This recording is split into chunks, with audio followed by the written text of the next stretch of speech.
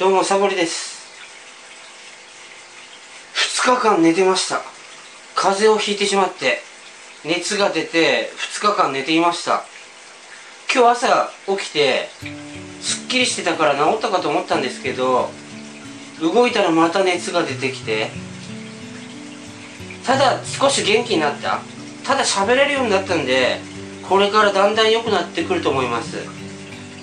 動画の方はね前回あげたあれを最後に取りだめしてるやつがないんですよ。でおそらく23日お休みするかと思います。ただね病気の方治ってきたんで心配はいりません。以上風邪をひきましたでした。ありがとうございました。はい。明日か明後日ぐらいに撮影開始してそれから動画ですねおそらく。うん。